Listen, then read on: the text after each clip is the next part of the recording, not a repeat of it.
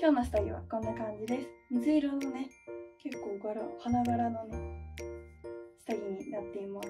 ここにねレースもあってすごく可愛らしいデザインです。こんな感じです。では下も紹介していきます。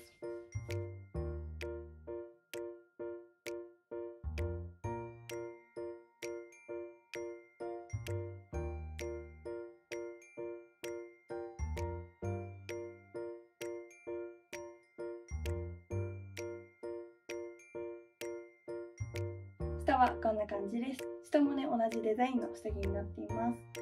ここにねレースがあってすごく可愛らしい。です結構下はシンプルめかなと思います。こんな感じです。ではすく水に着替えていきたいと思います。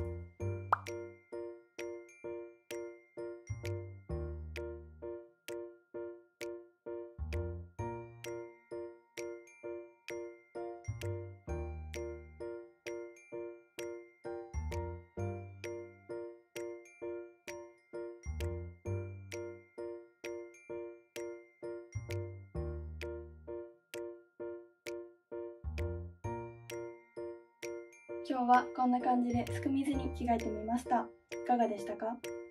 この動画が良かったら高評価とチャンネル登録お願いします。